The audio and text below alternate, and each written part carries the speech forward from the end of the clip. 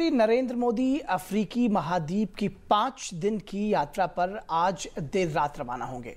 यात्रा के दौरान पेट्रोलियम, सामूहिक, सामुद्रिक सुरक्षा, व्यापार और निवेश, कृषि और खाद्य क्षेत्र में सहयोग बढ़ाने पर ज़ोर रहेगा।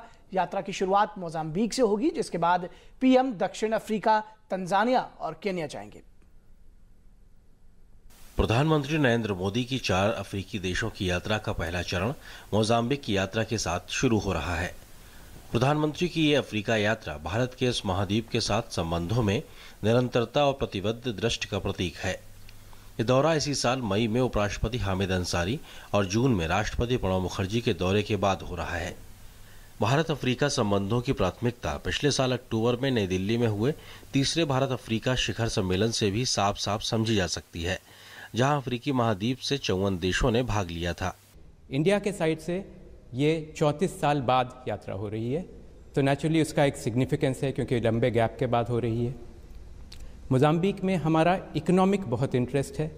मोजाम्बिक में इंडिया का जो टोटल इन्वेस्टमेंट अफ्रीका में है, उसका एक चौथाई सिर्फ़ मोजाम्बिक में है। तो मेन सिग्निफिकेंस यही है कि राजनीतिक रिश्ते बहुत घनिष्ठ रहे हैं।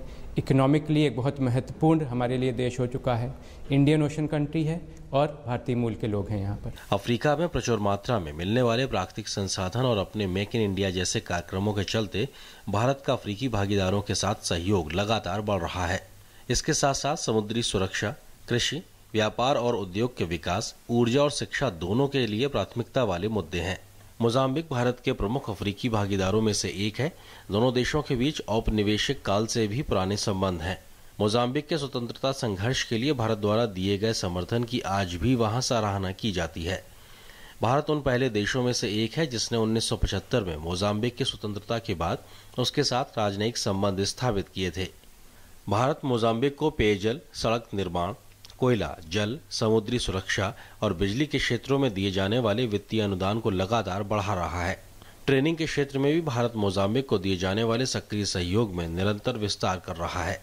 सार्वजनिक और निजी क्षेत्र की कई भारतीय कंपनियाँ भी यहाँ विभिन्न क्षेत्रों में सक्रिय योगदान कर रही हैं।